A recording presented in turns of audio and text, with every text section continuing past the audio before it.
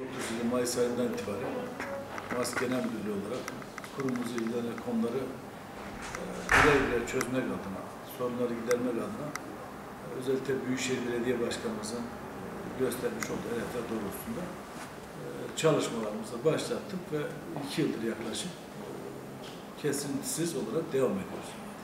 Tabii burada biz çalışma yaparken sadece merkez ilçeleri düşünmedik. Malatya'mızın 13 ilçesinin tamamında yapılması gereken altyapıyla alakalı hangi çalışma gerekiyorsa o çalışmaları e, başlattık. Hem abone bazlı hem mahalle bazlı hem ilçe bazlı olarak teker teker ayrıca planlamalar yaptık. Yapmış olduğumuz çalışmalar sırasında özellikle bizim merkezdeki metropol iki ilçemiz yani Battal Gazi ve Yeşil ilçemizle alakalı olarak e, bunların özellikle ana kolektör itibariyle en büyük sorunlarıydı. E, Battal Gazi ilçemizin e, doğu kolektörü bölgesi yani üniversite bölgesi o bölgedeki havzadaki e, mahallelerimizin tamamını ilgilendiren e, ciddi bir projeydi.